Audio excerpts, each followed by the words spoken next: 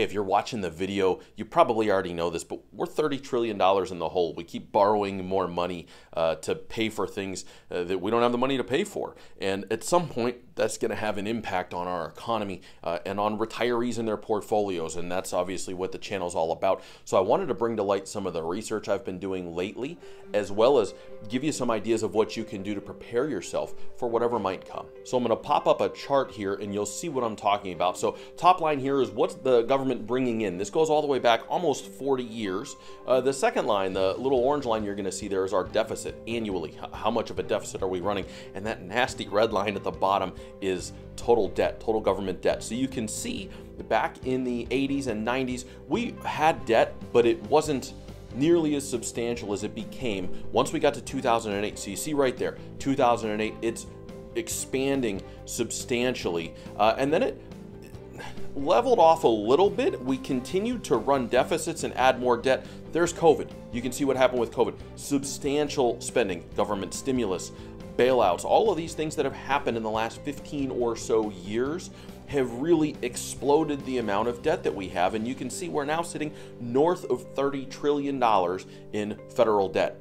Now, that's all money that we've got to pay back at some point in the future. And here's the kicker a lot of that money printing spurred the inflation that we've had over the last couple of years.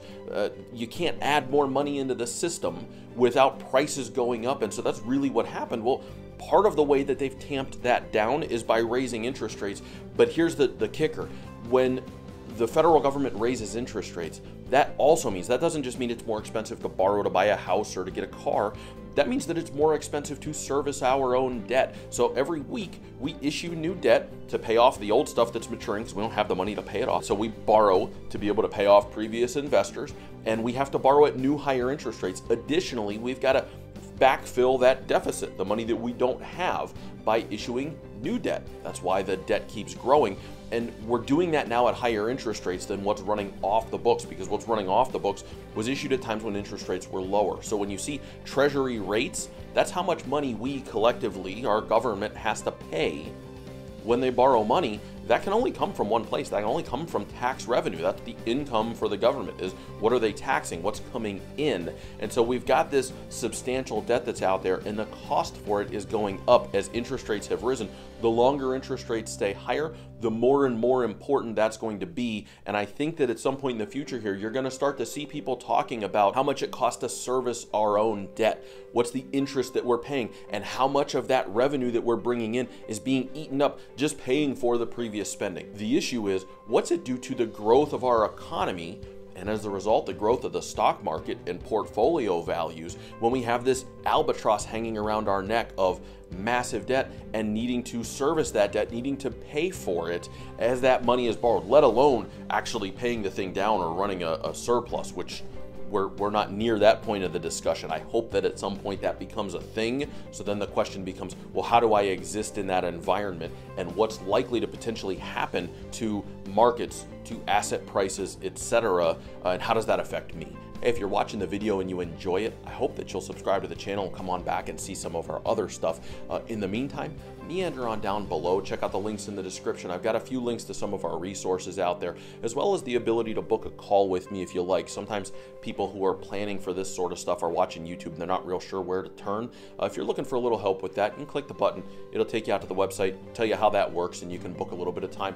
I'd be happy to go over your own situation with you and see what we can do to help. I'm going to take you back to a time that I'm sure you remember in history, the late 70s and early 80s. Stagflation, uh, high interest rates, low growth, uh, and just a really difficult time financially. And it lasted for a while, but it did not last forever.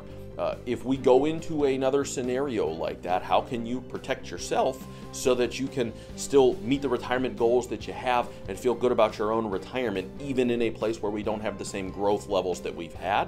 One, I mentioned it before, start shifting money over onto the Roth side of things. Get the tax man out of your retirement plan if you can help it.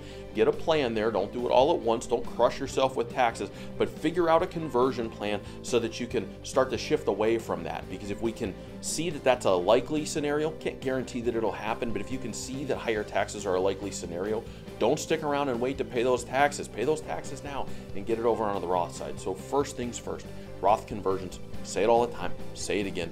Get yourself a plan if you're to be taxed heavy and start shifting money over. Second thing, assess the risk that you have in your portfolio. It's okay to take risk. You should take risk. That's what allows for potential growth.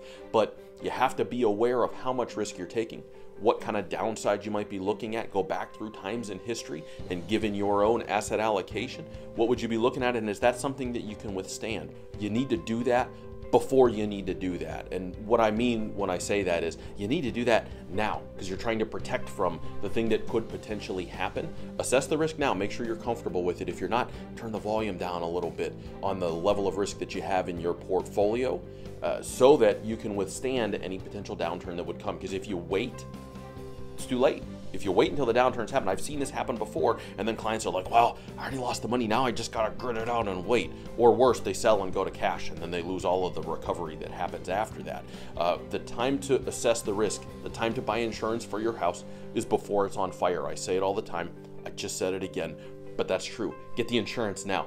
Figure out where you're at and if it's a good place for you. Number three, segment your money. Do this as part of your financial plan, but segment your money out. Separate your growth money, the money that's allowed to fluctuate, that has the ups and downs, but gives you the most growth potential from your income money and from your cash reserves. Keep those three things separate and know what's in each of them and know what you would do in the event of a downturn uh, so that you're not stuck with this big pot of money that has fluctuation that you're trying to rely on for income and a major downturn happens and now you either don't have the ability to retire or you're making day-to-day life decisions based on the market. Ah, we can't go out to eat because the market's down and uh, seeing the pot of money shrinking. Separate that out. Keep it over there. You need it keep it over there so that you're not drawing from it at an inopportune time. I've got some videos about that. I just recorded another one. I don't know if it'll go up before this or after this, but about a three bucket plan. Uh, look for it, or if it's already up, I'll put a link up there. Hopefully, this wasn't too doomy and gloomy if those are even